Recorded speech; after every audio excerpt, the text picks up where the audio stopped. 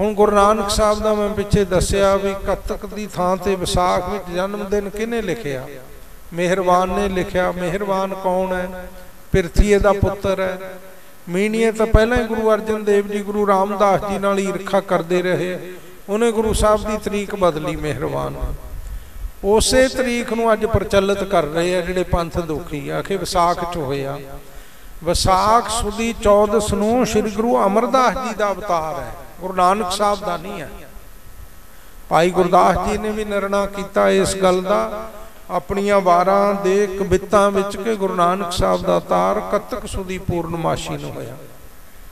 ਉਸ ਤਰ੍ਹਾਂ ਅਸੀਂ ਮੀਣਿਆਂ ਦੇ ਵਿਰੋਧੀ ਹਾਂ ਪਰ ਉਹਨਾਂ ਦੀਆਂ ਲਿਖਤਾਂ ਨੂੰ ਪ੍ਰਚਲਿਤ ਰੱਖਣ ਵਾਸਤੇ, ਉਹਨਾਂ ਦੀ ਪਾਈ ਦੁਬਧਾ ਨੂੰ ਅੱਗੇ ਤੋਂ ਅੱਗੇ ਜਾਰੀ ਰੱਖਣ ਵਾਸਤੇ ਗੱਲ ਉਹਨਾਂ ਦੀ ਕਰ ਰਹੇ ਆ ਫਿਰ ਇਹ ਮੀਣਿਆਂ ਦੇ ਵਾਰਸ ਹੀ ਆ ਨਾ, ਸਿੱਖਾਂ ਦੇ ਵਾਰਸ ਨਹੀਂ ਹਨ।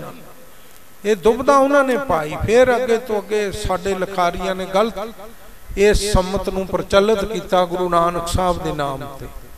ਅਸਲੀ ਤਰੀਕਾਂ ਪਾਪਤ ਅਸਲੀ ਗੁਰਪੁਰਬਾਂ ਦੇ ਦਿਨਾਂ ਬਾਬਤ ਬੜੇ ਭੁਲੇਖੇ, ਨਾਨਕਸ਼ਾਹੀ ਕੈਲੰਡਰ ਦੇ ਨਾਮ ਤੇ ਤੁਹਾਡੇ ਸਾਹਮਣੇ ਕਿੱਡੇ ਵੱਡੇ ਭੁਲੇਖੇ ਖੜੇ ਕੀਤੇ।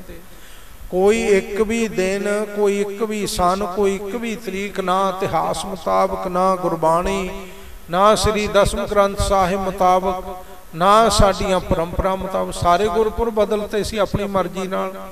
ਉਹਦੀ ਮਨਸ਼ਾ ਸੀ ਕਿ ਸਿੱਖਾਂ ਵਿੱਚ ਇਹ ਦੁਬਧਾ ਬਣ ਜਾਏ, ਕਿ ਸਿੱਖਾਂ ਦੇ ਤਾਂ ਗੁਰਪੁਰਬ ਜਿਹੜੇ ਹੈ ਅਵਤਾਰ ਹੈ, ਜੋਤੀ ਜੋਤ ਹੈ, ਗੁਰਿਆਈ ਦਿਵਸ ਹੈ, ਇਹ ਸਾਰਿਆਂ ਪ੍ਰਤੀ ਭੰਬਲ ਪੂਸਾ ਦੁਬਧਾ ਪੈਦਾ ਹੋ ਜਾਏ।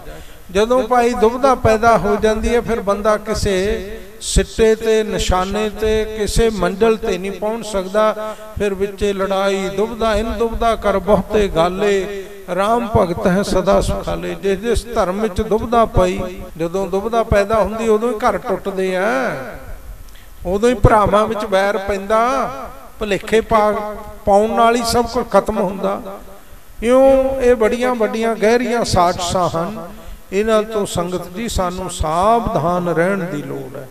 ਸਾਡੇ ਸਤਿਗੁਰੂ, ਸਾਡਾ ਇਤਿਹਾਸ ਜੋ ਕੁਝ ਸਾਨੂੰ ਦੇ ਗਿਆ, ਇਸ ਤੋਂ ਉੱਤੇ ਸਾਡੇ ਕੋਲੇ ਹੋਰ ਕੋਈ ਕੁਝ ਵੀ ਨਹੀਂ ਆਇਆ ਸੋ ਆਓ ਭਾਈ, ਇਹ ਐਸਾ ਇਤਿਹਾਸ ਹੈ ਜਿਹਦੇ ਵਿੱਚ ਬਹੁਤ ਬਰੀਕੀ ਨਾਲ ਅੱਜ ਦਾ ਕੋਈ ਵੱਡੇ ਤੋਂ ਵੱਡਾ ਵਿਦਵਾਨ ਦਾਵਾ ਕਰਕੇ ਦੱਸੇ ਕਿ ਗੁਰਪ੍ਰਤਾਪ ਵਰਗੇ ਚਾਰ ਅਧਿਆਇ ਲਿਖ ਕੇ ਦਿਖਾਓ।